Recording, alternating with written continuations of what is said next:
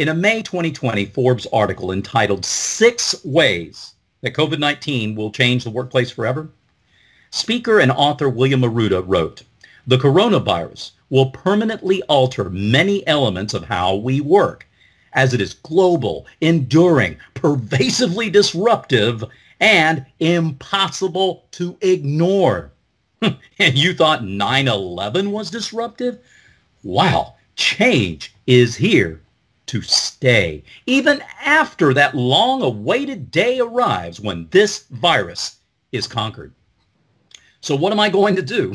How do I deal with all this? Can I ignore change altogether and hope to goodness that things will stay the way they are?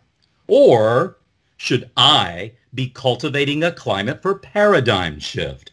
How can I move forward without sacrificing quality and security in the process?